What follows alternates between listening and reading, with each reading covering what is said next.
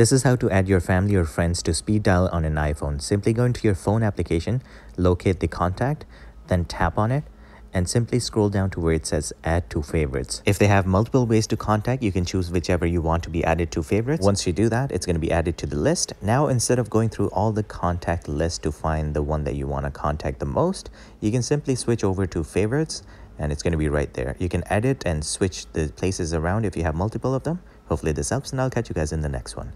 Peace.